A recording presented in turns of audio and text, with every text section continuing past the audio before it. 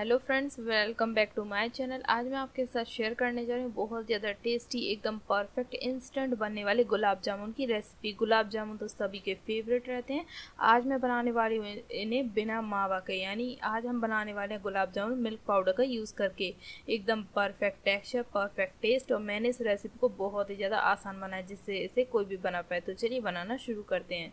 सबसे पहले यहाँ पे कढ़ाई लेंगे, इसमें डाल देंगे आधा कप दूध। दूध आपको पहले से पका हुआ यूज़ करना है।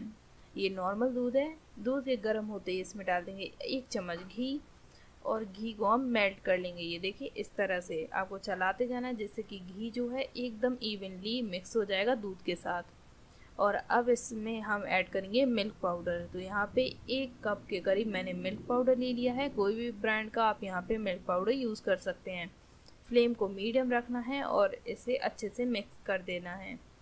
आपसे मैंने इसीलिए कहा फ्लेम को मीडियम रखने के लिए, क्योंकि ये जो मावा है, जो हम बनाने वाले हैं, उसमें गुटलियाँ अच्छी नहीं लगती इसलिए फ्लेम को मीडियम रखें और इसे अच्छे से गुटलियों को तोड़ते हुए आपको मिक्स करना है। क्योंकि जब हम दूध में मिल्क पाउडर ऐड करते हैं, तब इसमें गुटलियाँ पड़ जाती हैं। तो आप इन्हें आराम से इस तरीके से मिक्स करते जाएँ और बीच बीच में आपको गुटलियाँ को फोड़ते जाना है। ये देखिए आप, एकदम परफेक्ट चिकना ये हमारा मिल्क मिल्क पाउडर जो है, वो दूध के साथ मिक्स हो गया है। अब ये गाढ़ा होना शुरू होगा। एक एक स्टेज में आपके साथ शेयर करूँगी इस वीडियो में, जिससे कि आप जब भी ये गुलाब जामुन बनाएँ, आपको कोई दिक्कत ना आए। तो ये देखिए, ये थर्ड स्टेज है। इस तरह से ये इतना गाढ़ा होगा। ये फोर्थ स्टेज ये अपने आप ही कढ़ाई को जो है, वो छोड़ने लगेगा। ये देखिए, इसका मतलब ये बन के तैयार है। करीबन दस मिनट लगेंगे इसे आपको तैयार करने में। तो इसे हम थोड़ा सा ठंडा कर लेते हैं। इसके बाद इसे हम निकाल लेंगे एक प्लेट में। तो यहाँ पे ये ठंडा हो गया है। ये देखिए अब मैं इसे टच कर पा रही हूँ। अब इसमें ऐड कर देंगे एक चम्मच मैदा। और आधा चम्मच से थोड़ा सा कम, यानी कि दो पिंच बेकिंग सोडा इसके बाद थोड़ा सा चीनी और अब एक चम्मच पानी। सारी चीज़ों को अच्छे से मिला लेना है। आपको मैदे का यूज़ ज़्यादा नहीं करना है। केवल उतना मैदा यूज़ करें जितने में ये जो डो है वो अच्छे से तैयार हो जाए, यानी कि एकदम चिकना हो जाए। बस उससे ज़्यादा मैदा का यूज़ नहीं करेंगे, वरना टेस्ट अच्छा नहीं आता गुलाब जामुन में। और ये देखिए, इसका डो मैंने बना के तैयार कर लिया है।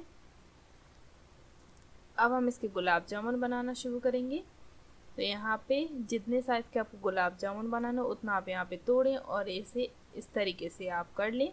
मैं इसे फ्लैट इसीलिए कर रही हूँ अभी क्योंकि इसके अंदर मैं स्टफ़ करने वाली हूँ, थोड़े से ड्राई फ्रूट्स आप स्किप कर सकते हैं ये प्रोसेस मैं ये इसीलिए कर रही हूँ, इससे गुलाब जामुन एकदम सॉफ्ट बनते हैं। और टेस्ट भी अच्छा आता है, इसीलिए मैं ये डालती हूँ। आपको अगर नहीं डालें तब आप ऐसे भी बना सकते हैं।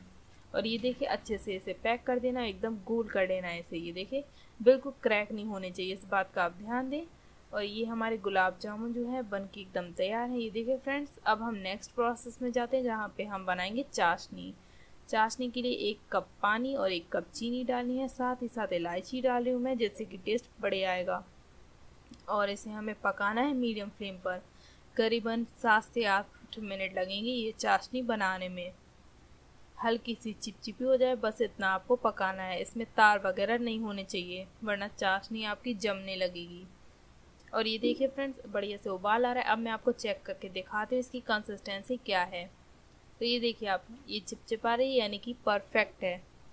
अब हम गैस के फ्लेम को ऑफ़ कर देंगे और यहाँ पे डाल देंगे आधा चम्मच नींबू का रस जिससे कि ये जो चाशनी है वो जमेगी नहीं।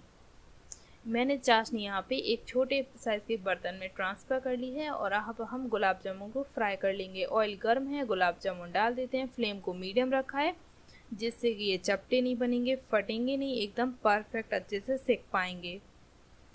पहले आपको गुलाब जामुन को टच नहीं करना, जैसे कि ये थोड़े से सेक जाए, यानी कि हल्के से ये शेप ले लें, बाद में आप इन्हें पलटना शुरू करें। अगर आप पहले से ही इन्हें पलटने लगेंगे, तब ये जो गुलाब जामुन है, वो या तो चपटे बनेंगे या फिर बीच में ही टूट जाएँगे।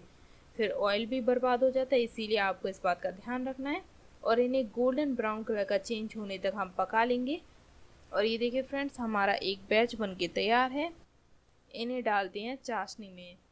आपको इस बात का ध्यान रखना है कि आप जब गुलाब जामुन डालें, तब चाशनी जो है वो हल्की सी गर्म होनी चाहिए, तभी गुलाब जामुन चाशनी अच्छे से एब्जॉर्ब करता है अंदर तक और एकदम सॉफ्ट बनते हैं ये। तो इसीलिए मैंने चाशनी जो है वो लास्ट में बनाई थी, जिससे कि वो भी गर्म रहे, गुलाब जामुन तो गर्म है ही और एकदम परफेक्ट बनेंगे ये। तो ये देखिए हमारे गुलाब जामुन बन के तैयार हैं। आपको इन्हें रखने की कोई ज़रूरत नहीं, आप इन्हें इंस्टेंट एंजॉय कर सकते हैं, क्योंकि ये गुलाब जामुन हमने मिल्क पाउडर से बनाई इसीलिए ये जैसे ही आप बनाएँगे और गर्म चाशनी में डालेंगे, तुरंत ही चाशनी को एब्जॉर्ब कर लेते हैं, अंदर तक और एकदम सॉफ्ट हो जाते हैं। तो इन्हें आप गर्म गर्म सर्व करें, जैसे कि देखिए मैं कर रही हूँ। और अब मैं आपको एक गुलाब जामुन जो है कट करके भी दिखाऊँगी, जिससे आपको पता चले कि ये कितने ज़्यादा सॉफ्ट हैं। तो ये देखिए, आप बिल्कुल भी चपटे नहीं बने, एकदम परफेक्ट बने। अब मैं एक गुलाब जामुन को कट कर रही हूँ। तो ये देख सकते हैं कट करने से ही पता चल रहा होगा, एकदम माउथ मेल्टिंग बने हैं फ्रेंड्स आप एक बार ये गुलाब जामुन ज़रूर ट्राई करें, बहुत पसंद आएँगे आपको। और अगर आज की रेसिपी आपको अच्छी लगी हो तो प्लीज़ आप वीडियो को लाइक कर दें और चैनल को भी सब्सक्राइब कर लें।